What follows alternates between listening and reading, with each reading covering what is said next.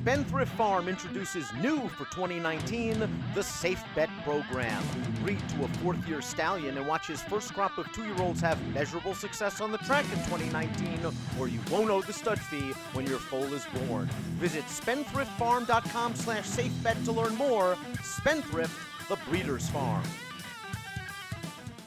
Hi, everybody, and welcome to Keeneland Babies, presented by Spendthrift, the Breeder's Farm. I'm Dan Illman along with Nicole Russo, and let's take a look at race number five. This is the second division of maiden special weights for two year old fillies, obviously going four and a half furlongs, and this race kicks off a 50 cent pick four. Spendthrift Farm, our sponsor, represented by the 1A My Donut.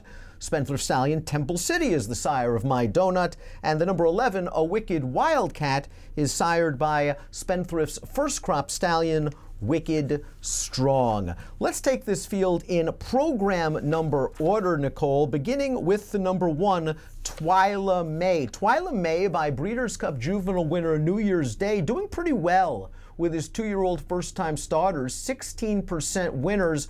I look at the bottom of this pedigree, though, I see a lot of route influences, I see a lot of turf influences, and while this horse does have a couple of bullet workouts on the tab, I wonder if she may want a little bit more ground. Yeah, you know, I kind of think so. Certainly, you see Kitten's Joy there as the broodmare sire, and you think route and you think turf. You think the same when you see the sire of sires, their street cry. New Year's Day did win the Breeders' Cup Juvenile, but he really came on later in his two year old campaign. You know, he wasn't an April or May sort of two year old. Uh, so I really do think that the combination of everything, Twyla May might want some more ground as well. The number 1A is My Donut, this one by Spendthrift Stallion Temple City and a half sister to a multiple juvenile stakes winning dirt sprinter in Bella Shamrock. The dam has been very productive. Four winners from seven runners, including a debut winner. The third dam is a champion. And it looks like that April 3rd work came in company with Nightbright, who is entered in the first division. So you may want to see how Nightbright does before making your final determination on my donut. Yeah, that should offer you a lot of clues. And I do want to point out, as always, that you can pick up a lot more context on these horses and the work tabs by picking up the Clocker reports from our team daily through the Keeneland meet. Uh, Temple City, I certainly see him, and I think, uh, you know, of a little bit more distance and of turf. But as you said, uh, you know, some precocity in the female family and a very classy female family. Speaking of a classy female family, we'll move to the number two, Beth, who is 7 to 5 on the morning line, trained by the great Wesley Ward, who seems to dominate every year in these four and a half furlong uh, dirt sprint dashes at Keeneland. This is a half to Soldat, who I believe won the Fountain of Youth, a half to My Selection, who is a stakes place sprinter. Tell us a little bit about Carpe Diem and what to expect from this first crop stallion. Well, Carpe Diem is very much expected to be good early with his two year olds, and buyers are responding as such to them at this year's two year old sales. Uh, this one herself was a $230,000 yearling. Uh, Carpe Diem worked very well as a two year old at the OBS March sale when he sold, went on to sell for seven figures. Um, you know, the Son of Giant's Causeway expected to have two year olds that kind of follow in his mold. And as you said, this is a really classy female family. Soldat, yes, did win the Fountain of Youth on dirt, but he was a graded winning two year old on turf as well. And Carpe Diem sure loved Keeneland. He won the Breeders' Futurity at two, the Bluegrass yep. at three. The number three is Kertara, a 22 $100 yearling. Nice pedigree, though. The dam a half to November Slew, who was graded stakes place sprinting. The second dam, November Snow, we've talked about her. She won both the test and the Alabama the same season for trainer Allen Jerkens. Kurtara had a built in excuse for her debut. It was a very wet, sloppy track. Um, she just was very green. She never changed leads. She passed a few tired horses late. I think she can build on that performance, but I'm going to wait for another race and maybe more distance. Uh, definitely more distance. I think we've talked about the stallion Raison d'Etat by AP Indy and out of the terrific mare Sightseek they both wanted distance. Raison d'Etat wanted distance. His offspring want distance.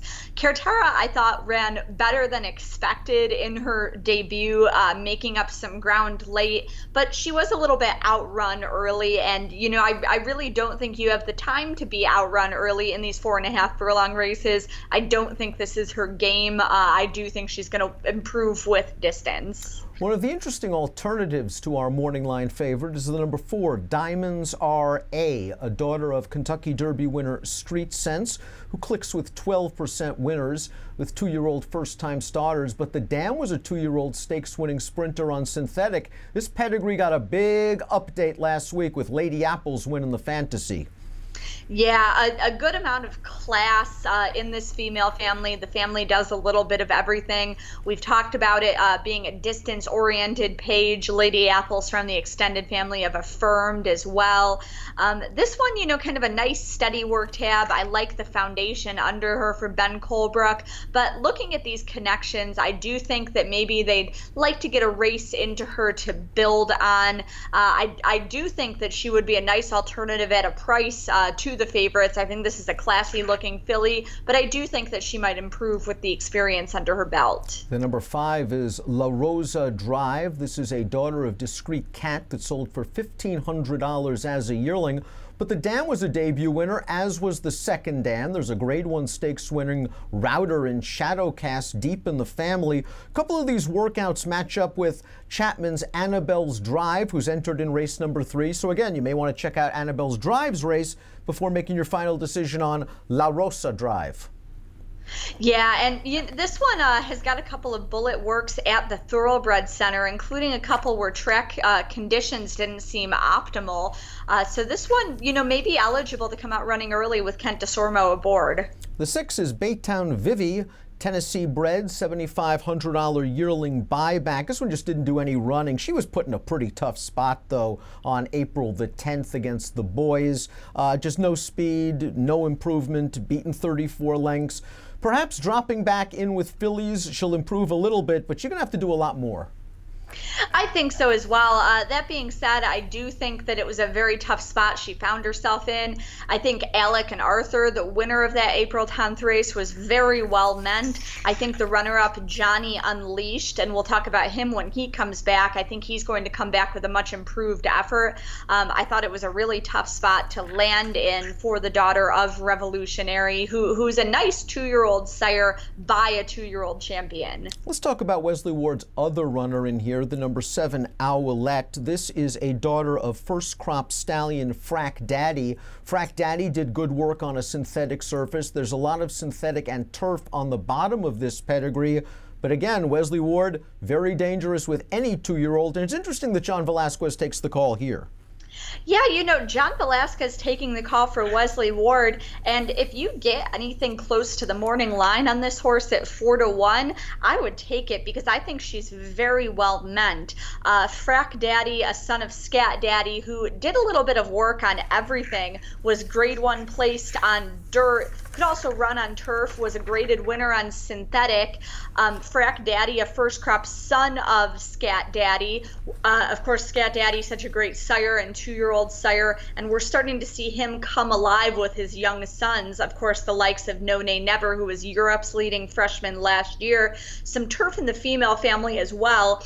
And all of that versatility in the page makes me think that this is a horse that Wesley Ward definitely has pegged for some of the big uh, spring summer events in Europe.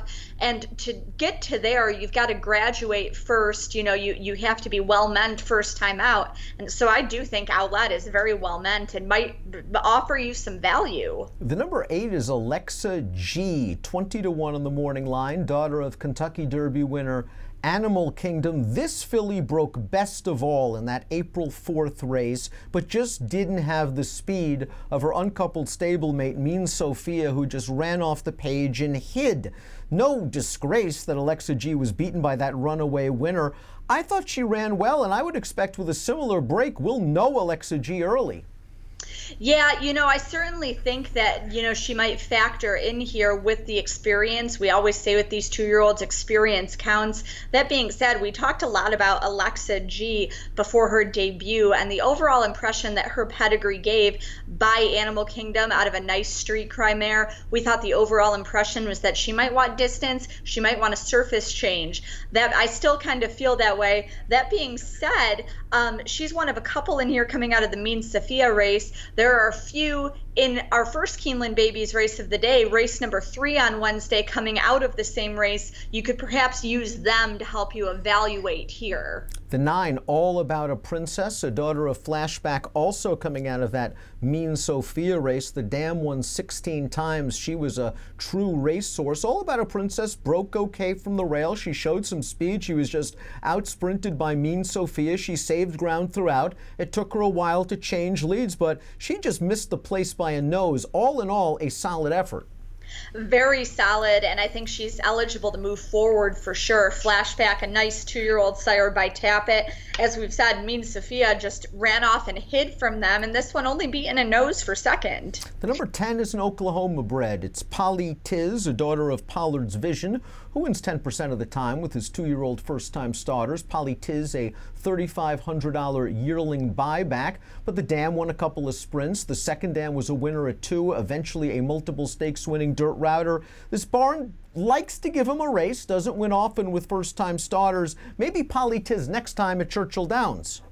Yeah, perhaps, and you know that's what I was gonna just going to say. I don't think any sort of record like that is an indictment on the class of the barn. I think it's just a sign of trainer intent that they're not necessarily coming out with these horses fully cranked first time. They're letting them get the experience. The 11 is a Wicked Wildcat by Spendthrift Stallion Wicked Strong who has already had a winner at the Keeneland meet, his first starter being his first winner. This is a $3,500 yearling. The dam was a multiple stakes winner on turf, but was precocious enough to win it too. There is some precocity on the bottom of this pedigree. Your low profile connections are going to ensure a gigantic price, but this filly better come out running from an outside post. Yeah, and you know, a nice solid work tab underneath the horse. Maybe she has some foundation in her. Uh, Wicked Strong, we've talked about, sort of surprised me a little bit with some of, uh, you know, with some of his early horses at the sales with his first winner here at Keeneland. Uh, Wicked Strong by Hardspun. I really expected him uh, to have offspring who developed with distance and even with age as he did, really coming along late in his two year old year, early in his three year old year. That being said, Hardspun is by Danzig, of course, the sire of good good sprint horses, good two year old sires such as Warfront. So maybe some of that precocity is coming through a little bit in hidden fashion there. We kick off the 50 cent pick four with race number five at Keeneland, the second division of four and a half furlong maiden specials at Keeneland on Wednesday. Where are you going? You know, uh, I'm I'm gonna let maybe Wesley Ward beat me with the favorite uh, Bath, because I also because I really like his other horse Owlette quite a bit here. As I said, I think she's well meant for a number of reasons, and if you get anywhere close to four to one on her, it would offer huge value. Um, all about a princess. I'm actually I'm surprised that as one of the horses with experience in this race and and a placing in her first start that she's held at ten to one on the morning line right right now, I think she could really improve off that effort. In Ward, I trust. I'm going with Naya Beth over Owlette in race number five at Keeneland. Unfortunately, kind of a chalky opinion. Again, race number five is an approximate post time of 3:18 Eastern, and it is the second of two Keeneland Babies races on Wednesday. Keeneland Babies presented by Spendthrift, the Breeders' Farm.